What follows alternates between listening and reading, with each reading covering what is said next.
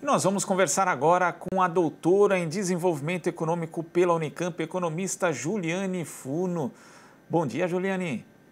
Bom dia, Glauco. Bom dia a todo mundo que nos assiste, nos ouve.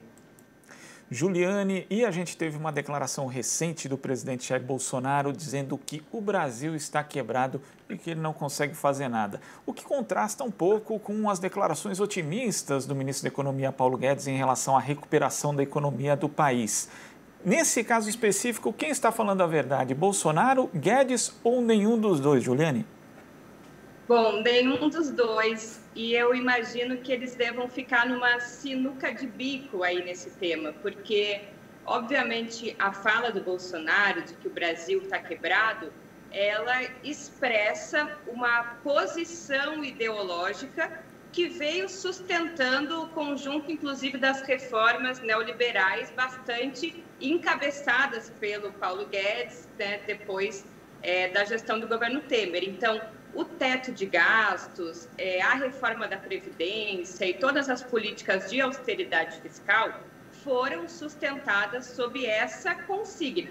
O Brasil quebrou, o Brasil está quebrado, acabou o dinheiro, é, não tem de onde tirar. Então, obviamente, o Bolsonaro ele reflete essa visão que, para começar, é uma visão errônea, ela é equivocada, porque diferentemente da década de 1980, que o Brasil viveu uma grande crise do endividamento externo, a nossa dívida era em dólar, ou seja, países quebram quando estão endividados em moeda estrangeira. É muito diferente do endividamento atual brasileiro, que, embora elevado, é um endividamento em reais. E por que, que isso é importante? Porque, diferentemente das famílias e das empresas, o Estado está endividado naquilo que ele mesmo tem controle monetário. Vamos supor aqui um exemplo bem tosco, que eu pegue um endividamento com você, Glauco, eu te peço aí é, 20 mil reais, eu quero te pagar em miçanga, porque é uma coisa que eu tenho muito aqui em casa, você não vai aceitar. Então, o Estado, ele pega e se endivida numa coisa que ele mesmo emite, que são reais. Obviamente, ele não faz isso dando play na máquina de imprimir dinheiro, ele faz isso rolando títulos da dívida pública, que se ele não tiver como pagar, vamos supor, quando vencer no ano que vem, ele simplesmente vai rasgar esse papel e emitir um papel novo. Né? O, o governo não quebra em reais e, diferentemente também das famílias e das empresas, o gasto do governo, nesse caso, ele é uma forma de investimento. Então, eu, quando vou na padaria comprar cinco pãezinhos e, e eu, e eu pago por esses pães, esse dinheiro sumiu da minha carteira, ele não volta mais. O Estado, quando paga os mesmos cinco pães para uma padaria, ou para uma transferência monetária de uma renda, ou alocando um serviço público, ele gera mais renda no futuro, porque o gasto do Estado é uma renda privada. Então, essa renda privada vai se reverter em consumo, que vai, de certa forma, pagar esse gasto inicial através da arrecadação tributária. Então, para começar, isso é uma falácia, não existe restrição econômica ao aumento de gastos, existe restrição política e administrativa, e ela sustentou essas reformas, né? essa insígnia sustentou. Acontece que, atualmente, o governo não poderia usar, paradoxalmente, a frase que ele sempre usou, porque o Paulo Guedes tem construído essa mensagem de que a economia brasileira, apesar de estar no buraco, estaria se recuperando, ou seja, uma fala do presidente de que o Brasil está quebrado, assim como falas do próprio Paulo Guedes de que o Brasil viveria um momento de hiperinflação, elas afugentam os investidores, né? É, elas, economia é muito baseada em expectativas, ou seja, se os investidores têm expectativa de que o real vai se desvalorizar, de que vai ter hiperinflação e de que o Brasil está quebrado, obviamente eles vão alocar o seu capital em outro lugar que não no Brasil. Então, na verdade, essa é uma contradição que eles estão vivendo, nenhum dos dois está certo, mas é uma contradição fruto da própria política é, demagógica e falaciosa que eles vêm construindo, que é essa ideia de que o governo é tipo uma dona de casa e teria que equilibrar suas contas de forma responsável e austera, quando isso não vale para Estado, apesar de valer para empresas e famílias. E é sempre importante ressaltar, né, Juliana? Inclusive você faz isso com frequência, como uma forma de didatismo, para que as pessoas entendam que essa comparação entre o orçamento da casa com o orçamento de um governo federal não tem sentido nenhum, né? Justamente porque, pelo que você falou no início, quer dizer, a capacidade de emitir título, de emitir papel, dinheiro mesmo, que obviamente uma dona de casa, uma família não tem. Exatamente. E outra, quando a gente vai no banco, por exemplo, se endividar, a gente não escolhe a taxa de juros e nem o prazo de pagamento. O governo, sim. Né? Está nas mãos da equipe econômica, né, a partir do Conselho de Política Monetária Nacional, a definição da taxa de juros. Então, ele pega empréstimo e ele pode definir quanto de juros ele pega sobre aquele empréstimo, assim como o prazo de pagamento. Ele pode lançar título de 12 meses, 2, 3, 5 anos, como recentemente lançou, escolhendo. E mesmo assim, repito, se chegar daqui a cinco anos e ele não tiver condições ainda financeiras de pagar esse título, ele vai substituir esse papel por um novo papel. Ou seja, é muito diferente estar endividado em reais. E não só a gente está endividado em reais, ou seja, a nossa dívida não é externa, quanto a gente tem bilhões de reservas cambiais em moeda estrangeira e superávit na balança comercial. Ou seja, a gente não vive nenhuma possibilidade de crise externa, crise do balanço de pagamento ou crises cambiais, como existiram na década de 90, porque, repito, não só nossa dívida não é em dólares, quanto a gente é extremamente superavitário em moeda estrangeira, o que poderia contornar qualquer tentativa de especulação sobre a moeda brasileira e outras possibilidades de uma crise externa que a gente tem é, moeda estrangeira suficiente para amortecer qualquer tipo de impacto externo. Agora, Juliane, você é autora do Boletim de Política Econômica do Instituto para a Reforma das Relações entre Estado e Empresa e uma análise muito boa, muito bem feita. Inclusive, quem quiser acessar está lá no site iree.org.br. E num trecho você fala a respeito dessa promessa de recuperação em V que o ministro Paulo Guedes tem falado tanto, dizendo o seguinte, com base nos dados do crescimento trimestral referentes ali ao terceiro trimestre de 2020. A economia brasileira permanece 4,1% abaixo do último trimestre de 2019 e 7,3% abaixo do pico de geração de riqueza interna pré-crise de 2015 e 2016. As perspectivas para o quarto trimestre não são muito alentadoras, já que desde outubro, tanto a indústria quanto o comércio apresentam recuos expressivos nas variações mensais de crescimento. Quer dizer, esses dados, na verdade, apontam aí, existe a perspectiva em relação aos dados oficiais do último trimestre do ano passado, mas indicam também que a recuperação econômica vai ser muito mais lenta do que o Brasil precisa hoje, Juliane. Isso. O que aconteceu, Glauco? É, o Brasil ele vive conjunturalmente a crise do coronavírus, mas ele já vem de uma crise não recuperada de 2014. Então, em 2015 e 2016, a gente acumulou ali um, um recuo na geração interna de riqueza, no PIB, algo como quase 8%. Em 2017, em 2018 e em 2019, a gente cresceu 1%.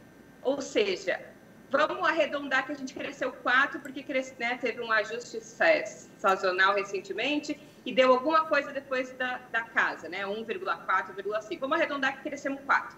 A gente ainda está 4% abaixo da nossa capacidade de geração interna de bens, de serviços e de riqueza. Então, a gente já acumula perdas de uma crise. Né? Não foi só a maior recessão ou seja, o ano de 2015 e 2016, quando foi a recuperação mais lenta da história brasileira. Porque o Brasil também viveu é, um crescimento negativo recentemente no ano de 2009. A gente teve um crescimento de 0,4%, se não me engano. Mas em 2010 a gente cresceu 7%. Ou seja, né, não só compensou, quanto teve crescimento real. 2015 2016 a gente caiu 8% e até hoje a gente segue numa posição de semi-estagnação. O que, que isso quer dizer? A economia brasileira cresce 1%, mas a população também cresce 1%. Ou seja, então, é, o bolo ele, ele não cresce. E em termos per capita, ele cresce menos ainda porque a população, para dividir o bolo, também segue crescendo.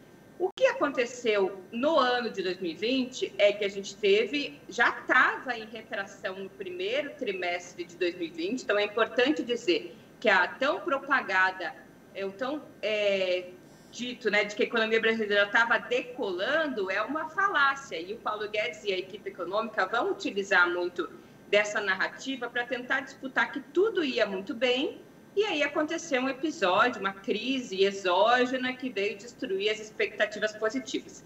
No último trimestre de 2019, a economia brasileira já tinha desacelerado e no primeiro trimestre de 2020 a gente já estava em retração, ou seja, crescendo menos que zero, né, um crescimento negativo. E o primeiro trimestre de 2020 a gente não pode culpar o coronavírus, porque a gente tem aí no máximo 10, 9 dias de crise do, do Covid-19.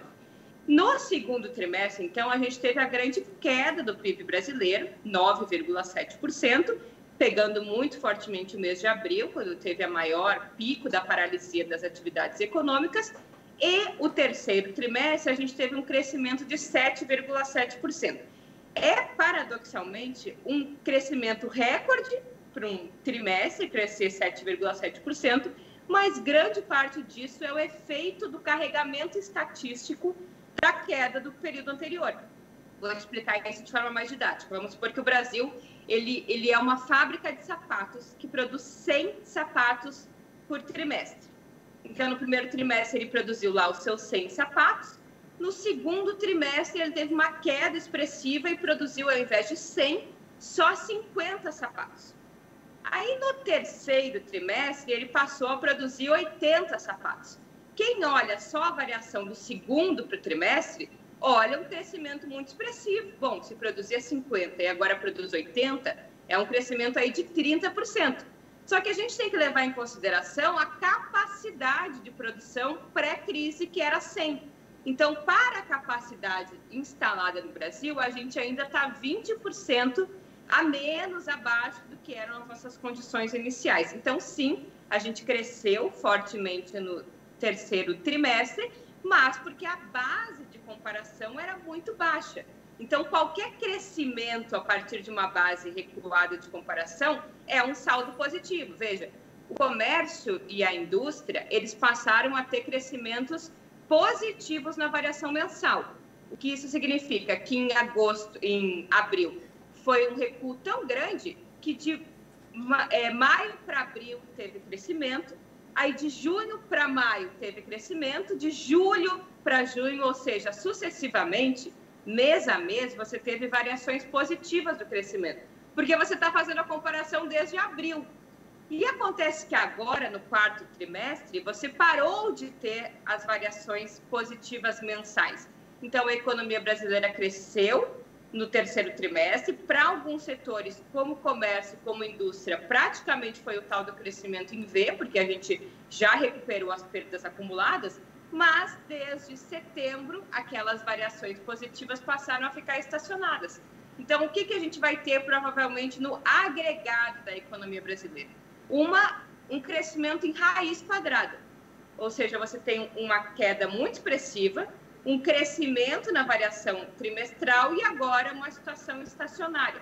Ou seja, a gente vai vivenciar um novo normal com capacidade de geração de riqueza abaixo do que era o padrão pré-crise, que já era abaixo do que era o padrão pré-crise, se a gente for levar em consideração a capacidade que a gente tinha de geração de riqueza em 2014.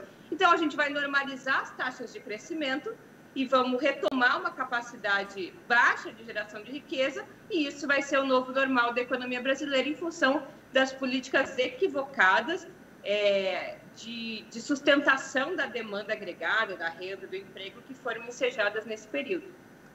Agora, essa estagnação já acontece neste momento. E você também menciona no boletim, Juliane, que a questão que é importante do consumo, né? que o consumo das famílias responde por cerca de 65% do PIB, o que demonstra aí a importância desse consumo no cálculo. E na comparação com o segundo trimestre de 2020, o consumo teve uma variação positiva no terceiro trimestre de 1,4% ainda que na comparação com o mesmo trimestre anterior o consumo esteja 5,3% menor. Isso não mede o impacto nem da redução do auxílio emergencial e muito menos do fim do auxílio emergencial. Como que isso pode acabar impactando justamente nessa, eh, nessa recuperação econômica que a gente está tendo e que, segundo você, segundo os dados, ela já está estagnando, Juliane? Exato. O fim do auxílio emergencial, na verdade, a redução do auxílio emergencial em setembro, ela já está é, tá correlacionada com esses dados de semi-estagnação. Ou seja, reduziu o auxílio emergencial em setembro e os dados de comércio, é, de consumo e os dados da própria indústria já passaram a ficar estacionados. Para você ter uma ideia, o comércio chegou a crescer 4,1% é, no mês de julho e agora ele cresceu 0,6% em setembro e 0,9% em outubro, ou seja, é um crescimento praticamente em torno de zero. Com o fim do auxílio emergencial, provavelmente a gente vai voltar a ter taxas mensais negativas, ou seja, em janeiro de 2019, na comparação com o mês anterior, que é dezembro de 2020, provavelmente o comércio já vai ter crescido menos 0, alguma coisa. Então, o papel que jogou o auxílio emergencial na sustentação da renda e, por consequência, na sustentação do comércio, que gerou demanda para a sustentação da indústria, vai terminar. Ou seja, esse estímulo fiscal que foi capaz de fazer com que a economia brasileira não tivesse uma retração tão grande quanto teria no segundo trimestre, ele, ao findar, não só vai jogar um problema social importante na sociedade brasileira, que ainda vive, né, ou vive com mais intensidade ainda os efeitos sanitários da crise do Covid, mas vai voltar a vivenciar os efeitos econômicos em função da pandemia não ter terminado, mais o estímulo fiscal que garantia ali, de certa forma, um balanceamento contra os efeitos mais imediatos econômicos, vai terminar e aí sim a economia brasileira vai responder provavelmente negativamente com o crescimento de 2021. Agora, você citou aqui a questão do crescimento brasileiro em 2009 né, houve ali uma retração, depois um crescimento grande que mais do que compensou as perdas ali do ano anterior já em 2010 e o Brasil teve impactos bastante reduzidos quando se compara com outros países durante aquela crise global de 2008, 2009. Mas naquela época foram adotadas medidas totalmente contrárias às que têm sido adotadas agora e planejadas pelo governo. Quer dizer, o, o Estado teve uma participação muito grande no estímulo da economia, os bancos públicos participaram participaram ali é, de uma grande oferta de crédito para justamente não deixar a economia estagnar e hoje a gente não vê nada disso. Você disse, Juliane, no, no boletim que grandes nomes da ciência econômica que antes adotavam aí a tese da contração fiscal expansionista, defensores da austeridade fiscal, hoje já começam a rever essa posição tanto no Brasil quanto no resto do mundo em função aí dos efeitos da pandemia. Então, te pergunto o que, justifica essa defesa da equipe econômica, da austeridade fiscal, da lei do teto, a qualquer custo, sendo que a realidade brasileira no passado mostra os resultados disso e a própria realidade mundial, diversos estudos feitos, né, chega a ser uma postura anticientífica. Que tipo de interesse se esconde atrás disso, Juliane? É, eu acho que você falou muito bem. Em 2008, a gente teve um conjunto de políticas anticíclicas bastante significativas que conseguiram dirimir os efeitos da crise, mas, obviamente, é, o tempo de propagação da crise de 2008 é, ela teve diferenças entre os países. Então, né, foi muito importante a atuação do governo Lula, embora é, os efeitos da crise foram chegar mais fortemente a partir de 2011, quando a China, então, passou a ser afetada, diminuiu seu crescimento é, econômico e passou a demandar menos matérias-primas do Brasil. Isso desorganizou um pouco a nossa estrutura é, de exportação interna. Também a crise de 2008 tem uma natureza bem diferente da crise é, do coronavírus, que, que enseja essa necessidade da redução das atividades econômicas. É, mas, obviamente, a, a centralidade né, que teve o papel do Estado aqui é, detona um pouco essa diferença de um crescimento no outro ano, ou seja, mais do que compensando as perdas, e no Brasil. O conjunto dos países europeus, pós-crise de 2008, passaram a adotar esse receituário da austeridade fiscal expansionista, que, em síntese, diz o seguinte: cortar gastos é fazer um, um, programa de austeridade fiscal. No curto prazo pode levar a uma retração, mas no longo prazo tem uma perspectiva expansionista, né? vai expandir a economia, na medida em que o controle das finanças públicas gera expectativas de, de, de normalidade econômica e isso levaria os agentes externos a retomar os investimentos naqueles países. Bom, essa tese se mostrou é, fracassada a Europa passa por um processo também, na verdade, o mundo todo passa por um processo de semi-estagnação pós-crise de 2008, semi-estagnação econômica, com crescimento substantivo do desemprego, da desigualdade social e redução das perspectivas de crescimento no futuro. Parte, então, expressiva da intelectualidade tem apontado, retomando lá o velho Keynes, que escreveu nos anos 30, que períodos de crise econômica, a política monetária, ou seja, essa que controla o preço do dinheiro, o crédito, os juros, ela tem uma participação bastante reduzida na capacidade de tirar uma nação da crise. Então, em períodos de crise como que a gente está vivendo, os juros estão negativos né, no Banco Central Europeu, estão bastante dirimidos nos Estados Unidos e muito baixos no Brasil também. E nem por isso a política monetária é capaz de estimular o investimento. Porque em períodos de crise, quando reina a incerteza, tanto faz se você tenha crédito à disposição e se a taxa de juros está muito baixa. Ninguém vai investir, porque as pessoas têm é, incertezas com relação ao futuro. Então, nesses períodos, o que é capaz de tirar uma economia da crise é menos a política fiscal e mais a, menos a política monetária, desculpa, e mais a política fiscal ou seja, é o gasto público que tem capacidade, né, esse gasto autônomo do Estado, que tem capacidade de gerar renda, reaquecer o mercado interno e, assim, retomar a normalidade econômica. Então, esses teóricos têm defendido um aumento do gasto público. Eles estão dizendo o seguinte, aumenta, inclusive, né, aumentar o gasto público, paradoxalmente, em períodos de recessão, ajuda a diminuir a dívida pública e não aumentar. Isso é muito esquisito, porque quando você é, aumenta o gasto público, você também aumenta, por consequência, o PIB daquela nação. Vou tentar dar um exemplo mais claro. O auxílio emergencial, por exemplo, vamos supor aqui num cálculo simples que ele custava 100 milhões ao Estado brasileiro por mês. E, e 100 milhões representava ali uma dívida de em torno de 80% do PIB brasileiro. Então, o governo passou a reduzir o auxílio emergencial. Ele era 100 e agora ele era 50.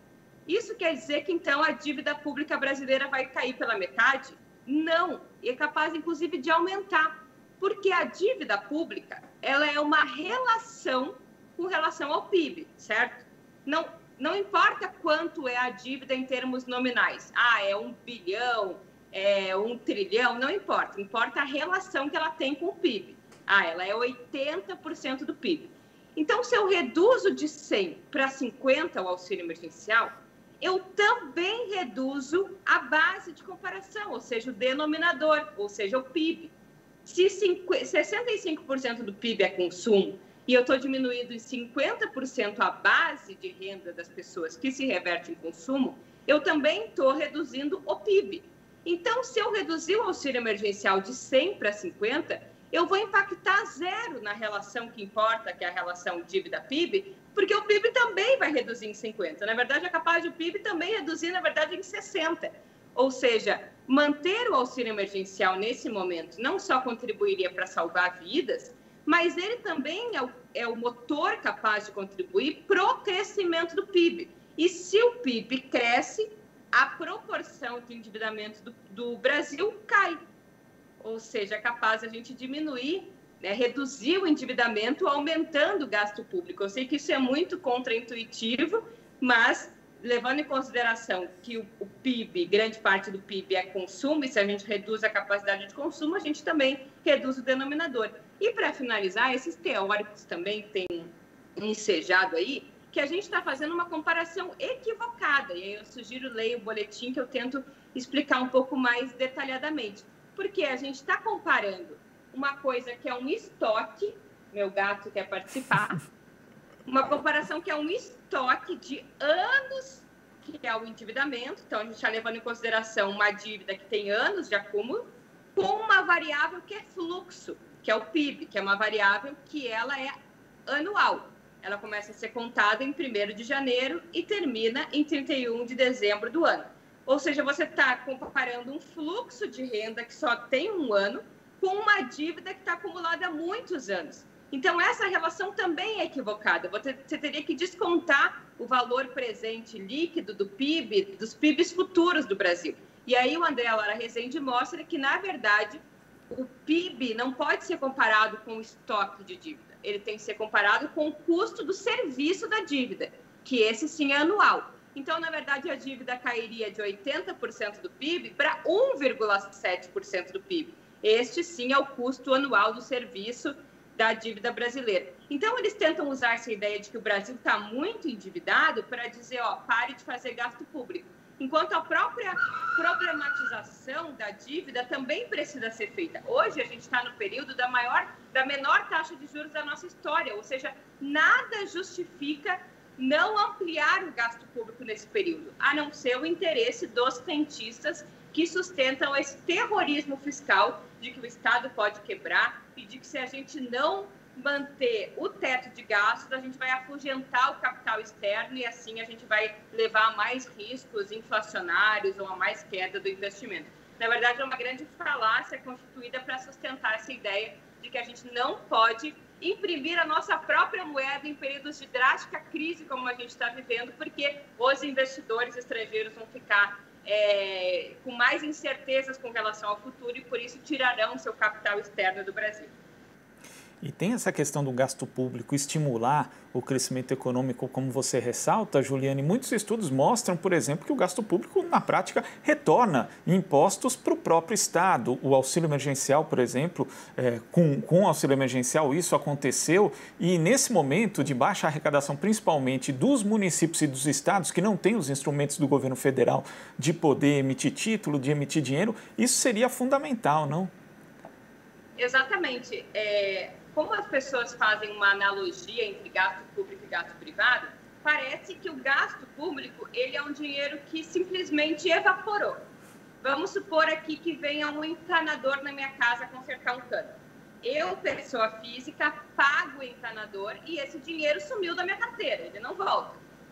O Estado, quando paga o mesmo encanador, através ou da prestação de um serviço ou através de uma transferência monetária, esse dinheiro ele não evapora.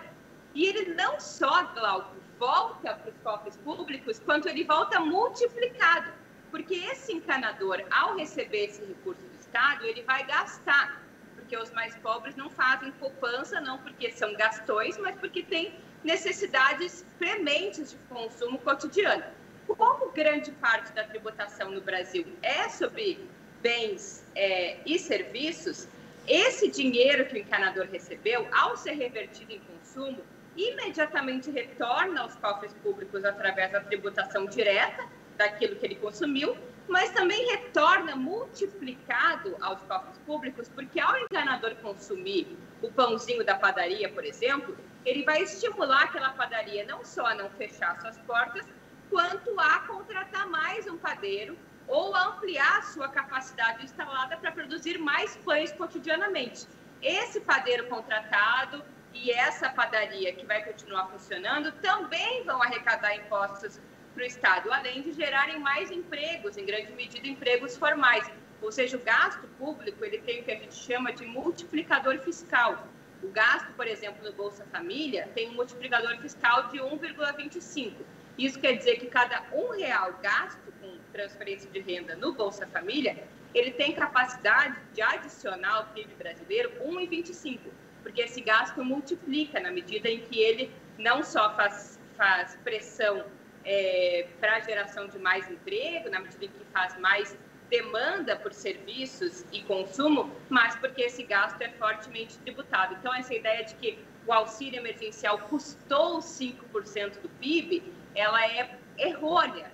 Na verdade, ela, ele custou 5% da geração do PIB de 2020, mas ele vai adicionar provavelmente mais de 5% de geração de riqueza no futuro. Então, o gasto do Estado, o gasto deficitário do Estado, mesmo quando é deficitário, mesmo quando é um gasto via endividamento, ele tem condições de ampliar a base de geração de riqueza, ampliar o emprego, ampliar a renda e, por consequência, ampliar o bem-estar social, que é também um elemento importante que é pouco levado em consideração pelos economistas de mercado.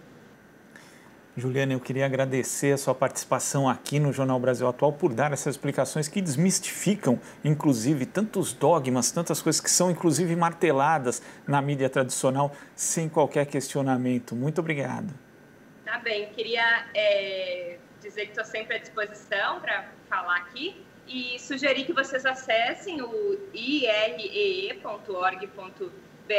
Todo mês, no dia 5 de cada mês, a gente lança um boletim referente ao mês anterior, e a nossa ideia é tentar popularizar o tema econômico e fazer um acompanhamento minucioso da conjuntura da política econômica, levando em consideração não só a macroeconomia, mas também temas como o mercado de trabalho e desigualdade, que são pouco tratados nos boletins tradicionais. Um bom é. dia e uma boa semana. Para você também, conversamos com o economista e doutor em desenvolvimento econômico pela Unicamp, Juliane Furno. Aqui você ouve as notícias que os outros não dão. Jornal Brasil Atual.